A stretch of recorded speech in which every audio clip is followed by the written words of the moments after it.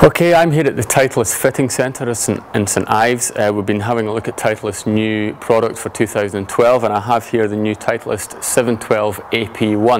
Now Titleist say this is an iron that has the broadest appeal to date. It's going to appeal to players who maybe look for a little bit of help with their irons, need a little bit more forgiveness in there, but it's got the, uh, the, the, the, profile in the head that you know even, even aspire better players, aspiring better players are going to look at there. Um, in terms of technology in this head, uh, what Titleist says they've got a tungsten weight in the toe with a stainless steel sole plate. This helps increase the MOI, 4% more MOI. That's forgiveness to me and you in the longer irons, which are the traditionally harder to hit ones.